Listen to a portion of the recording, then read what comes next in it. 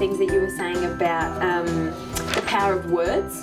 And mm. I think mm. the, the anecdote was there was a, a, youth worker or someone who had got mm. some boys to wear t-shirts that said mm. we don't bash chicks yeah and one of the workers said oh I'm no, not no, overly no. comfortable with the word yeah. chicks and your quote especially I loved was they were speaking their language their intention was good Mm. and the context was what makes the meaning so sometimes maybe we obsess a little bit too much about Oh. actual semantics Absolutely, I 100% agree. And I think that is the case with anyone who is an ideologue, anyone who's very passionate. You need the passion for any movement, doesn't matter if it's feminism or any other kind of movement.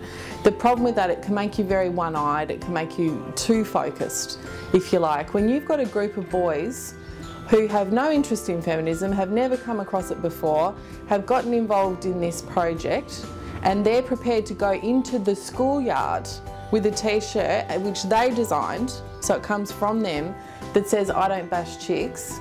The fact that I'm uncomfortable with the word chicks is irrelevant. Now, there's a there's a point at which that would tip over. If it was say sluts, for example, I'd be going, eh. But come on, you know, like everything's a bit of a grey area. That one, you let it go to the keeper, as far as I'm concerned. Look at what they're doing. It's actually a big risk for them you know, to take on an issue like that. That's not a popular issue for a young boy, probably even in the inner city, but certainly in that school, to go in and kind of go, you know what, I care about this and I don't like that this is happening. Good on them. Why would you do anything but praise them? Yeah, no, I completely agree.